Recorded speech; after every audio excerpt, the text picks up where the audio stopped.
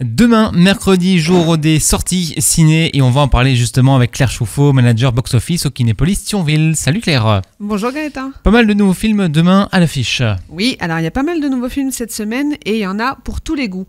Alors du coup, le premier film moi dont je vais vous parler, c'est le dernier film de Daniel Cohen qui s'appelle Le Bonheur des uns, donc avec un casting 5 étoiles.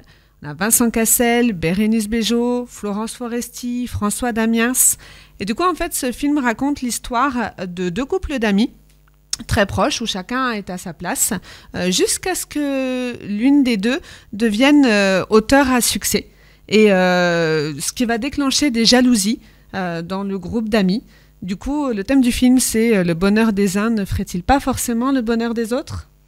Beau titre et belle Voilà, histoire. Et ce qu'il Ah. faut savoir juste, c'est que ce film euh, devait être une pièce de théâtre à la base, comme euh, Le Prénom, le film avec Patrick Bruel. Mhm. Mais du coup, c'est finalement le film qui s'est imposé au réalisateur.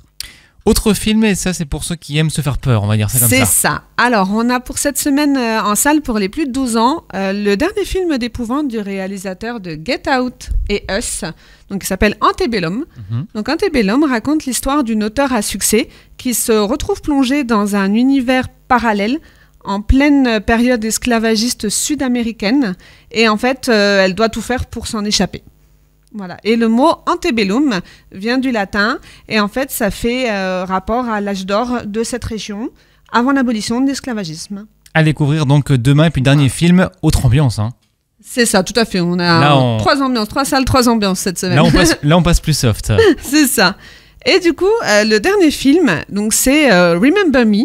Donc c'est une c'est une comédie romantico-dramatique Mhm. euh, qui raconte l'histoire d'un septuagénaire qui en fait il est euh, critique de cinéma et il découvre que son amour de jeunesse, une actrice française, est hospitalisée pour la maladie d'Alzheimer dans une clinique proche de chez lui. Et en fait, il, dé- il décide de simuler la démence et de euh, se faire interner dans la clinique pour la retrouver et essayer de lui faire euh, retrouver la mémoire par son amour et par leurs souvenirs. Voilà, donc c'est une histoire d'amour qui se bat contre le temps et contre l'inéluctable. Et ben c'est beau. En tout cas, le, Oui, pitch a l'air beau. En tout cas, et ben merci beaucoup Claire pour euh, la présentation de ces films. Et puis on vous rappelle que si vous voulez gagner vos places de cinéma pour pourquoi pas les découvrir, eh ben vous jouez avec nous par SMS, L'Or FM Kiné, avec vos coordonnées complètes et vous envoyez tout ça au 710 03. À la semaine prochaine, Claire. À la semaine prochaine, très bonne journée